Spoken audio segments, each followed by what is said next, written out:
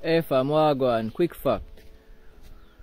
Everybody in life love you once you make them get away with them bullshit and you don't really check people, you know? Once them can get away with them little bullshit, everybody love you and yeah, yeah, yeah, everybody favorite person. You see, once you start check people and set healthy boundaries for yourself and start actually hold people accountable for them bullshit what them do, you find everybody hate you know, you just become everybody enemy, you become the arch nemesis of everybody.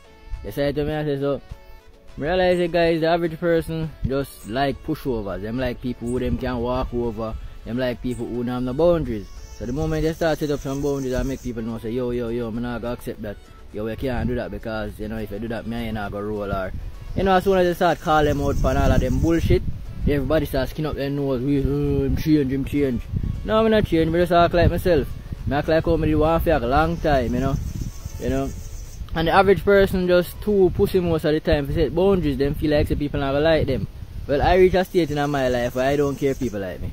Me, me actually want to don't, don't like me. I actually strive for people hate me. me. I tell you the truth. The more people don't like me, the better I feel. Me not try make nobody like me. I tell you God almighty truth.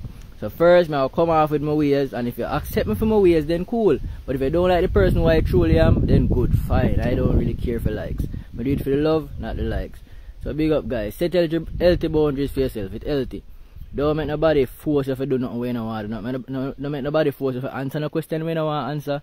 If somebody come and I try ask some type of question and I try pry in your life and it make you feel uncomfortable, yeah man, just tell them the truth. Speak your mind. Say, yo, me not answer that and don't ask me that again.